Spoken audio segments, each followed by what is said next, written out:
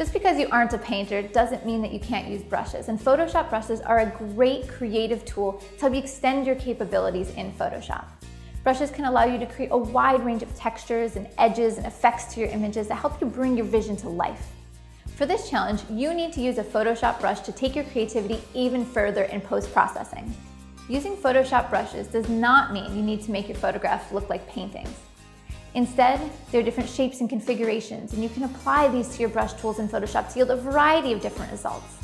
In the past, I've even used Photoshop brushes to add fake eyelashes to a beauty photograph, or to make a photo look worn by adding torn edges, or I've added smoke to augment the atmosphere in the scene. I've used grunge brushes to add textures for a gritty effect.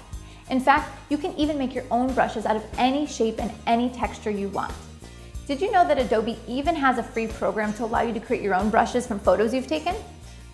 Adobe Brush CC allows you to take photos of patterns and textures and brush strokes or any elements that you want from your iPad or iPhone and quickly turn them into brushes you can use for Photoshop. You get a ton of control over these brushes and you might be able to create exactly what you need for this project. Luckily, if you don't want to go ahead and make your own brushes, many brush packs are completely free online if you know where to look. There are hundreds of them. I urge you to poke around some of the sites listed here. Do some Google searches, see what type of brushes you might encounter. I even provide a few free brushes on my site, including those free eyelash brushes I talked about earlier. These sites are all great places to look for brushes. Let's take a look at one way that I've used Photoshop brushes to get creative. This is the image that I have selected for this challenge, and it's actually a photograph that I took during one of my beauty intensives, which is a workshop that I have at my studio in New York City. What I've decided I want for this photograph is I want to make it look like it was sponge painted to life, or maybe watercolor, or something like that. So I want the edges of the subject to actually look like they were painted in, perhaps with spatters or paint of some sort. So here's what I'm going to do. I'm going to duplicate my background. And in between my background copy and my background, I'm going to create a new blank and empty layer.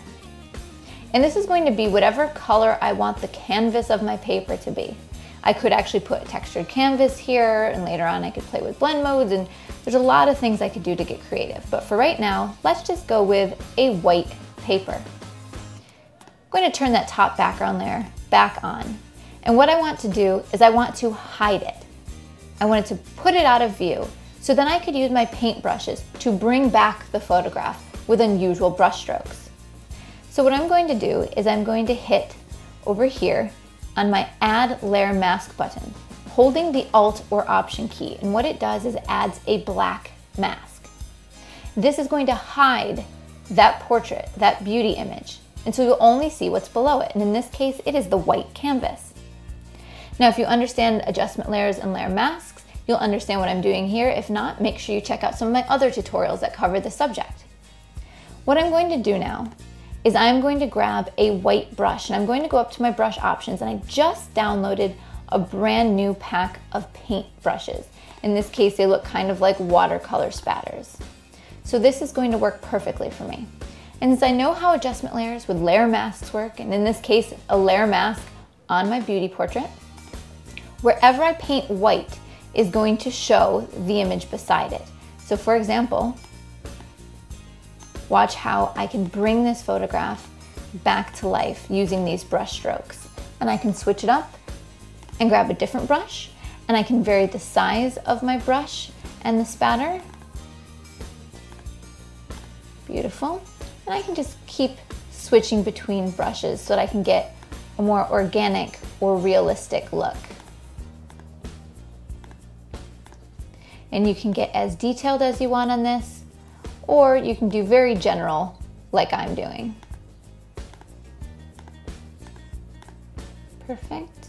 And notice as I'm layering over, it'll look like the paint is actually layered upon itself. And it's all going to depend specifically on the brush that you have selected. So think of it this way. Perhaps you want to have the edges of a photograph to look like they're worn, like they're melted, or perhaps like an old wet plate. You could use this technique to achieve that goal. So let's try something just about like this, for example. If I don't like it, no problem. I simply erase the mask, hit Alt or Option to add the mask again, and try it over again to see a different technique. Now, did you know that this is a brush that I downloaded online? It's something that I found quickly, simply, and completely free. But you can actually create your very own brushes that you can work with right here in Photoshop using Adobe Brush. And what you can do is you can photograph any texture, any doodle, anything that you find, and turn it into a brush that you can utilize. You can make a brush of your own logo, or perhaps you could use a grunge texture. So we're going to take a look at that right now. Okay, so let's take a look at Adobe Brush and the fun that you can have with it and also how it could help you with this challenge. Right now I'm on my iPad and so I'm going to click over to the Adobe Brush app. And I'm given a variety of different brushes that I can actually use that's already built into my library, but what I really want is I want to create my own. So I'm going to hit the plus sign on the left-hand side of the screen. Now, what this is asking me is, where is the source file that I'm going to create this brush from?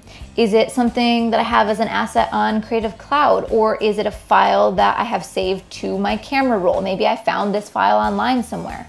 Or maybe I want to take a picture of something right in front of me. And what's cool is that you can get endlessly creative. I could take a picture of a grunge texture, for example, and that's actually what's inspired me right now, is the iPad case that I have on this iPad is this kind of distressed grunge texture. It's really interesting. And you know what? I'd like to turn that into a grunge brush that I could work with later on. So what I'm going to do is I'm going to access my camera. And I'm going to put that iPad case right in front of me. And you can see exactly what my camera sees. Let me click to focus. And what you can see now is the part that you can see in color would be part of the brush. It's actually knocked out or kicked out some of the texture that it assumes doesn't belong.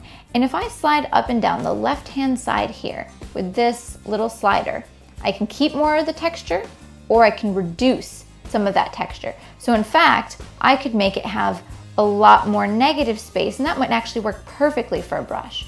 So I'm gonna do something just about like here for my grunge texture. I'm going to click on the image to make sure that I'm focused. And I'm going to take the photo. And if I don't like it, no problem. I can take another one.